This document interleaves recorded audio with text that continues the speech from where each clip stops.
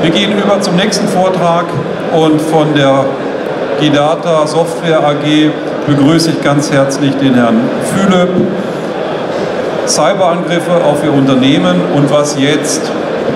Also welche Maßnahmen leiten Sie ein, wenn Sie Cyberangriffe auf Ihr Unternehmen verzeichnet haben? Wie reagieren Sie? Was tun Sie? Erstmal ein Technikcheck, Ton passt. Bild passt. Okay, die Bäuche sind auch voll vom Mittagessen. Ja, sehr schön. Also, es ist wohl, würde ich einmal sagen, der perfekte Zeitpunkt, um sich hier mal eine PowerPoint-Schlacht anzusehen. Nein, Spaß beiseite. Ich darf Sie recht herzlich begrüßen hier zu meinem Vortrag. Mein Name ist Andreas Philipp. Ich bin Sales Engineer bei der Gedata Software AG, zuständig für die Region Süddeutschland. Bevor ich loslege, möchte ich mich bei der Organisation von der ITSA natürlich recht herzlich bedanken, dass sie uns der Gedata im Rahmen so einer tollen Veranstaltung uns die Möglichkeit gibt, uns zu präsentieren. Der Vortragstitel lautet Cyberangriff auf Ihr Unternehmen. Was jetzt? Prinzipiell möchte ich Ihnen damit einige ja, ganzheitliche Ansatzpunkte geben, wie Sie sich gegen entsprechende Attacken aus Cyberspace schützen können. Es bezieht sich nicht nur auf das Portfolio von der Gedata logischerweise. Wir sind ein endpunktebasierter Hersteller der sein Fokus eben auf die Endpoint Security liegt. Ich möchte Ihnen auch ganzheitliche Ansätze geben, fernab der Technologie. Es geht auch mehr so um organisatorische Ansätze, bei denen man sich im Rahmen eines Security Managements auch Gedanken machen sollte. Ich werde zu Beginn einige Statistiken zeigen, um mal so grob ähm, Einblick in die aktuelle Bedrohungslage zu geben, speziell aus der Malware-Umgebung logischerweise. Anschließend möchte ich Ihnen ein aktuelles Beispiel zeigen aus dem Ransomware-Umfeld zeigen. Konkret handelt es sich dabei um die Petya Ransomware.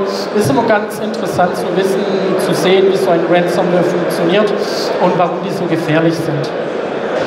Anschließend habe ich auch ein kleines Video dabei, damit Sie einfach mal ein Gefühl dafür kriegen, wohin sich das Ganze entwickelt hat. Nur so viel vorneweg schon einmal, vergessen Sie, sage ich einmal, diese jungen Hacker mit einer verbesserungswürdigen Körperpflege und einer ungesunden, weißgräulichen Haut, die ständig in irgendeinem Keller drin sitzen und Schadsoftware entwickeln. Diese Zeiten sind längst vorbei.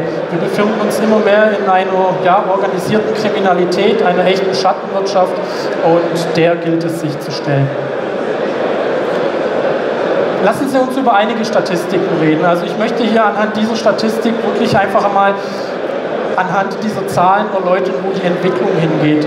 Man sieht das Ganze, wenn man zurückdenkt, 2013, also neun Jahre zurück, wurden ungefähr 0,13 Millionen Malware-Samples gelistet. Und wenn man das Ganze eben hochskaliert, merkt man, dass insbesondere bis heute, 2014 und 2015, die Zahlen exorbitant in die Höhe steigen. Wie das 2016 letztendlich aussehen wird, muss man sich anschauen werden wir dann auch entsprechend auswerten. Wichtig ist an dieser Stelle für Sie zu verstehen, aufgrund dieses exorbitanten Anstiegs neuer Malware ist es immer fahrlässiger auf bekannte klassische Erkennungen in der AV zu setzen, sondern wichtig ist es immer auch auf intelligente Erkennungsmechanismen setzen. Beispielsweise gibt es da bei der GData den Behavior Blocker oder die Exploit Protection, die speziell auf Exploiting-Attacken von Zero-Days Exploits zugeschnitten sind. Die konkrete Statistik hier in dem Zusammenhang können Sie im GData PC Malware Report nachlesen und eine ähnliche Statistik in dem Zusammenhang haben wir auch für Android-Samples.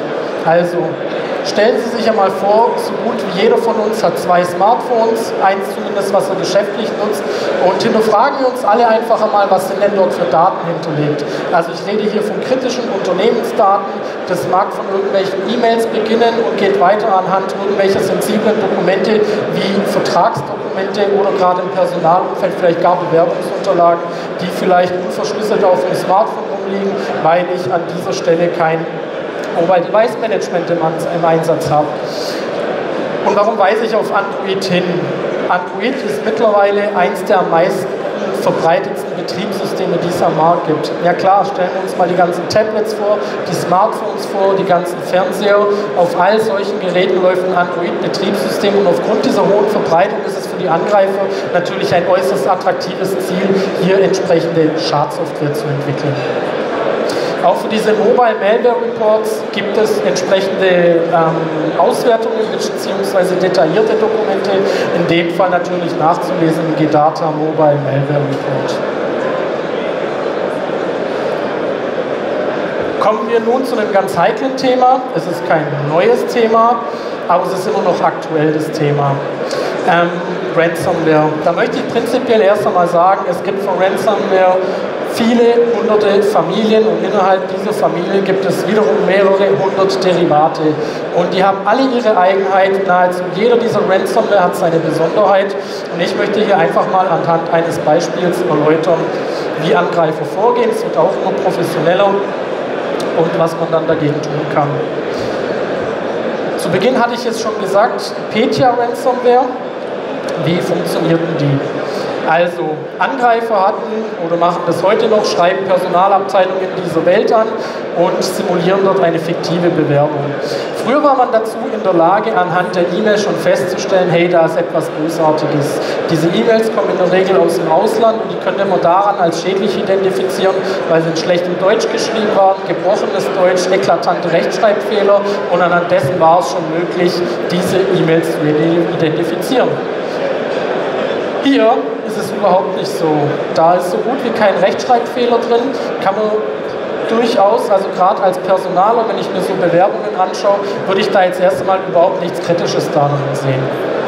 Was aber offensichtlich ist, heutzutage werden wohl Bewerbungen in eine Dropbox reingelegt. So nach dem Motto, mein lieber zukünftiger Arbeitgeber, meine ganzen tollen Zertifikate und mein toller Lebenslauf, die Dateien sind so groß, weil ich ja so kompetent bin, ich konnte dir das nicht alles schicken, das war dein Mail-Server, der hat es nicht durchgelassen.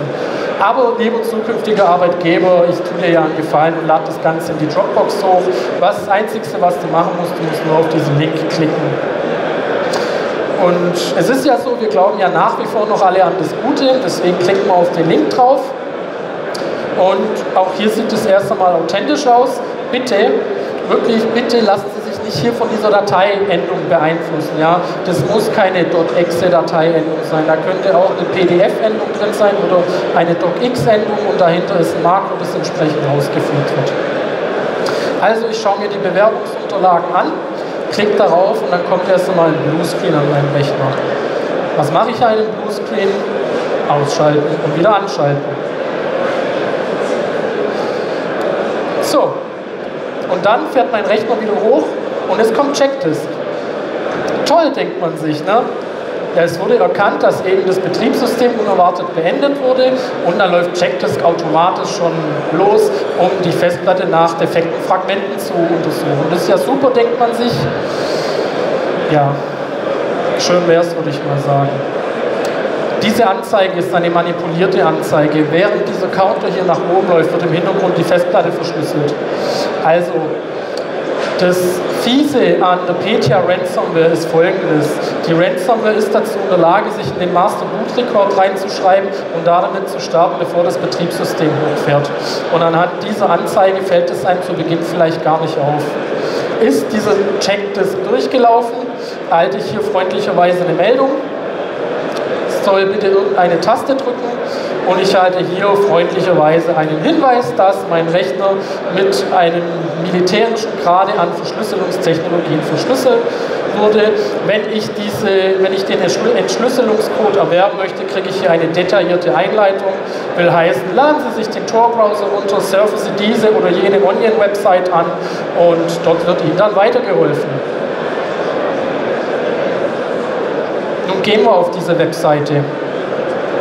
Auch hier werden wir freundlicherweise hingewiesen, ja hey, dein Rechner ist verschlüsselt worden. Super. Richten Sie Ihren Blick mal um auf die Menüleiste. Sie kriegen hier einen Support, es gibt einen FAQ-Bereich, Sie können hier noch ähm, die Sprache abändern. Also Sie sehen den Angreifern, es ist wirklich daran gelegen, Ihnen einen ganz reibungslosen Ablauf des Geschäftes mit dem Entschlüsselungscode zu liefern. Ja. Also Sie sehen, das geht hier wirklich sehr professionell zugange. Und wo das Ganze hingegangen ist, ich hatte vorher schon gesagt, vergessen Sie diese kleinen, halbstarken Hacker, die in irgendeinem Kellerraum sitzen mit der ungesunden, weißbräunlichen Haut, schlechte Körperhygiene, die werkeln da vor sich hin. Nein, es ist eine echte Schattenwirtschaft, die dort am Laufen ist.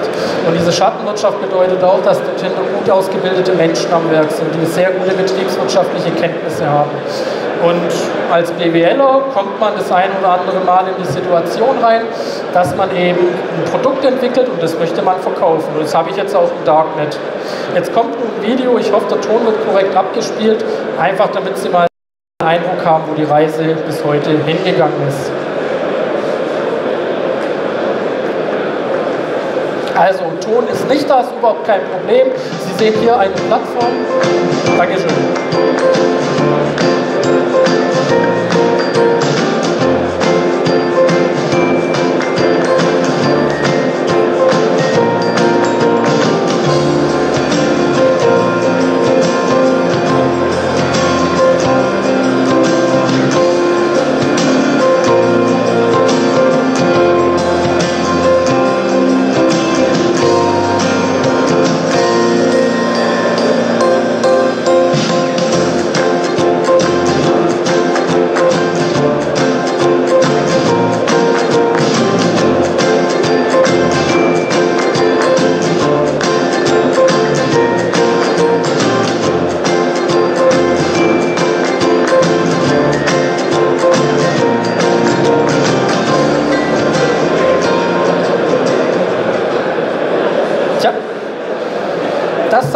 Mal exemplarisch dargestellt. Also Sie sehen, das Ding ist marketingmäßig professionell aufgearbeitet.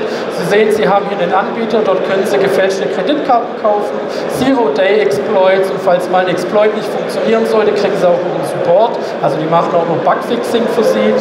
Ähm, First-Hand-Dumps, ja, also so einen Support wünscht man sich heute auch von seriösen Softwareanbietern, bieten die hier an. Das ist wirklich der Oberhammer in meinen Augen marketingmäßig professionell aufgearbeitet, meine sehr verehrten Damen und Herren. Also schauen Sie, sollten Sie sich in der Marketingbranche äh, befinden und beruflich in der Zündmühle sein, eine neue Herausforderung suchen, schauen Sie mal im Darknet vorbei, scheint ein Wachstumsmarkt zu sein. Jetzt haben wir uns das angeschaut. Wir haben Angriffstechnologien gesehen. Wir haben auch gesehen, was das Ganze für Ausmaße angenommen hat. Jetzt geht das Ganze einen Schritt weiter. Befinden wir uns mittlerweile im Peak Geht es vielleicht zurück oder wird die Bedrohung vielleicht noch gefährlicher? Wir sind der Meinung, die Bedrohung wird definitiv noch gefährlicher. Denken Sie einfach nur an das Internet der unsicheren Dinge in Anführungszeichen. Stellen Sie sich vor, Ihr Zuhause mit den Jalousien, mit der Waschmaschine, mit dem Kühlschrank, die Autos mit ihren Keyless Drives. Wo soll die Reise da denn noch hingehen? Und ich sage Ihnen, all diese Systeme gilt es zu schützen an der Stelle. Und wie man das Ganze vollziehen kann, möchte ich nun anhand einiger Sicherheitskonzepte erläutern.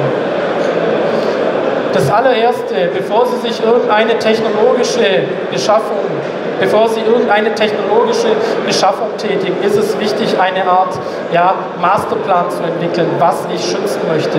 Das bedeutet, ich kann nicht einfach sagen, ja, ich möchte alles schützen.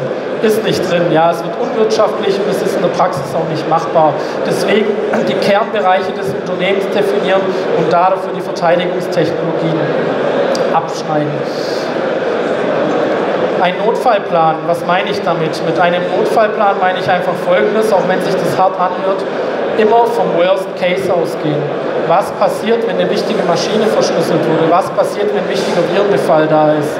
Und haben Sie dafür einen Notfallplan? Das ist erst einmal das A und das O. Wichtig ist auch IT-Security nicht als Projekt, sondern als Prozess zu verstehen. Und im Rahmen eines Prozesses ist es natürlich auch wichtig, diesen Prozess ständig irgendwelchen Evaluierungen ähm, zu untersetzen, einfach weil es darum geht, weil die Technologien immer raffinierter werden und sich weiterentwickeln. Security Awareness, ja, die Endanwender sollte man sensibilisieren, aber auch Sie, liebe Administratoren, liebe IT-Leiter, ist es wirklich vonnöten, dass jeder Admin globale Windows-Domain-Admin-Berechtigung hat. Ja? Einfach nur mal so hinterfragen, weil dann möchte ich auch schon in die technologischen Maßnahmen reingehen. Da geht es insbesondere um ein UAC, eine Netzwerksegmentierung. Das sind immer schon mal Punkte. Da muss ich mir technologisch in Regel nichts zulegen, sondern diese Mechanismen werden schon mit Onboard-Mitteln von meinem Betriebssystem oder von meinen Netzwerkkomponenten abgebildet. Und da dazu mit einer vernünftigen Netzwerksegmentierung geht auch ein Firewall-Konzept einher. Und Stichwort ähm, vom Worst Case ausgehen, Backup und Restore ist ein Riesenschlagwort. Backup, ja, kann jeder. Restore ist meistens immer das Entscheidende, wo das Ganze eben schief geht. Zu Beginn hatte ich eben schon gesagt, AV ja, aber bitte nicht nur auf Signaturen verlassen, sondern setzen Sie da auch auf intelligente Erkennungsmechanismen. Insbesondere geht es da im Anwendungsumfeld um ein Anwendungsgerätemanagement, ähm, gerade der Schutz gegen Bad USB-Sticks, Patch-Management und Mobile Device Management. Denken Sie an die Statistiken zu Beginn von meinem Vortrag und dann kriegen Sie da davon ganz guten Eindruck.